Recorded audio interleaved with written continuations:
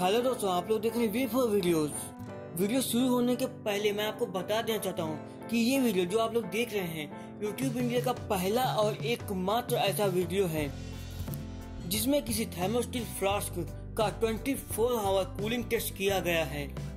जिसमें आप सभी लोग ये जान सकें कि जो मिल्टन थर्मोस्टिल या सेलो की जो थर्मोस्टिल फ्लास्क होती है तो जैसा कि जैसे कंपनी क्लेम करती है कि उनकी बोतल 24 घंटे पानी को ठंडा या गर्म रह सकती है तो क्या उनका कहना सही है या गलत है?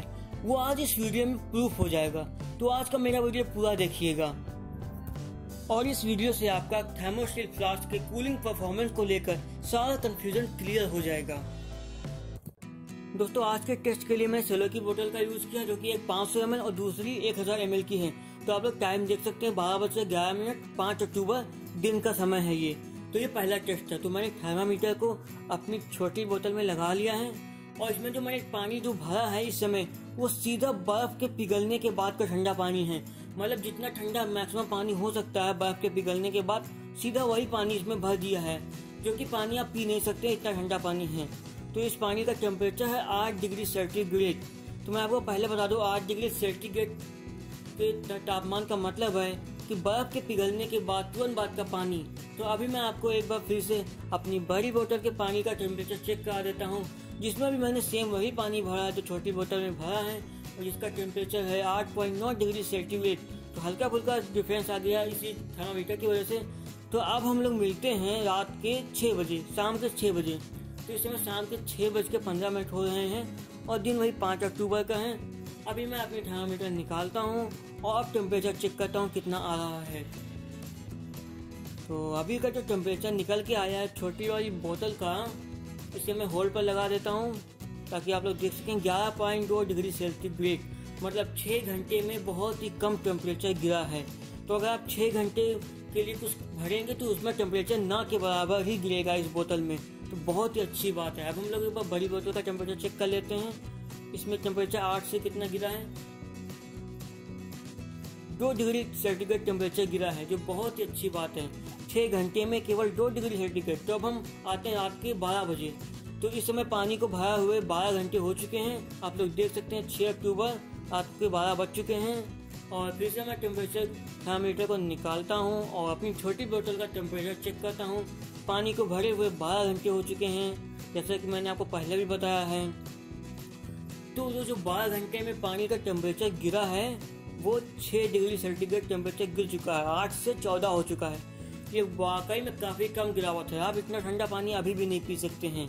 तो मैं एक बार फिर से अपनी बड़ी बोतल का टेम्परेचर चेक कर लेता हूँ कि बड़ी बोतल में कितना टेम्परेचर आया है। तो बड़ी बोतल में जो टेम्परेचर आया है, बारह घंटों के बाद, वो है और अभी आपको टेम्परेचर दिखा देता हूँ। रात के बारह बजे, बारह घंटे बाद बड़ी बोतल का टेम्परेचर है बारह पॉइंट पाँच डिग्री सेंटीग्रेड। जो कि बहुत ही कम गिरावट है। अब हम मिलते हैं अगले दिन दोपहर के बारह बजे। तो हमारे पानी को हो गए चौबीस घंटे। आप लोग देख सकते हैं, एक बजकर छब्बीस मिनट और दिन है छह अक्टूबर। तो अभी का टेम्परेचर आप लोग देख सकते हैं, तैतीस पॉइंट सिक्स डिग्री सेंटीग्रेड है और पानी को भरे हुए चौबीस घंटे पूरे हो चुके हैं।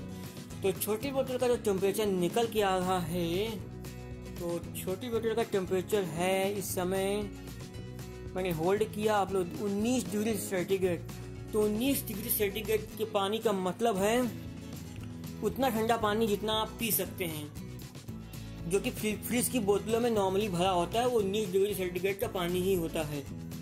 इसमें अभी अभी भी आपको मिलाने की ज़रूरत पड़ सकती है। तो दोस्तों, जो बड़ी बोतल का टेम्परेचर निकल के आया है वो 16.5 डिग्री सेंटीग्रेड निकल के आया है। तो बड़ी बोतल इस मामले में जीत गई, जिसका टेम्परेचर बहुत ही कम गिरा, आठ डिग्री सेंटीग्रेड टेम्परेचर ही गिरा। तो दोस्तों, आप इस टेबल से अंदाज़ा लगा सकते हैं कि बोतल वाकई में काफ़ी अच्छी है। सोलह डिग्री सेंटीग्रेड पानी का मतलब है कि इसमें अभी भी आपको नॉर्मल पानी मिला के पानी पीने की ज़रूरत पड़ेगी।